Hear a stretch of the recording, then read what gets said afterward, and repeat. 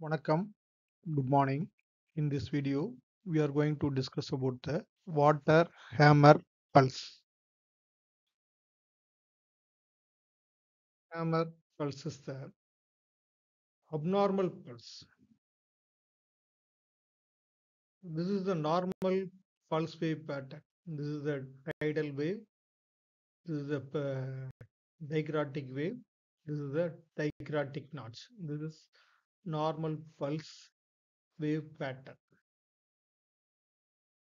A tidal wave, dicrotic notch, and dicrotic wave. This is a normal pulse wave pattern.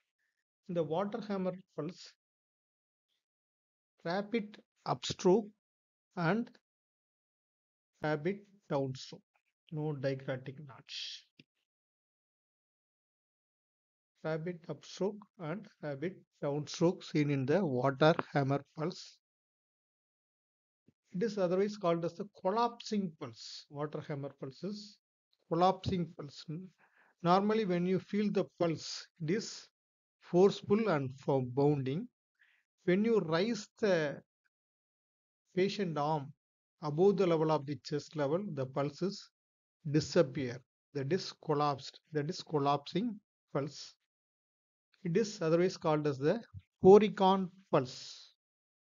Is the scientist, Irish scientist Dominic Corrigan's name given for the Corrigan pulse.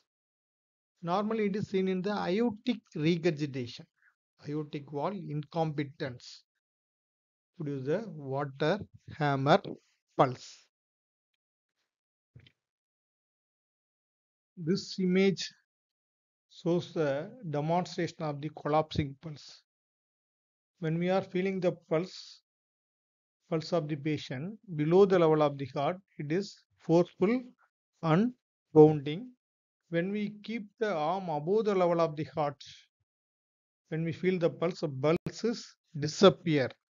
So it is called as a, called as a collapsing pulse. Water hammer pulse is otherwise called as the collapsing pulse. The the water hammer pulse, the patient having the water hammer pulse, the patient's having the wide pulse pressure. Wide pulse pressure means uh, the systolic pressure is very high, diastolic pressure is very low because the stroke volume is high, the aortic incompetence. But the peripheral resistance is very low. So the pulse pressure is increases in the conditions like aortic incompetence.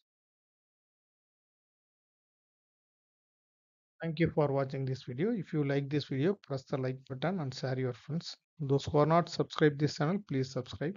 These videos briefly discuss the physiology topics. You must read the physiology textbooks.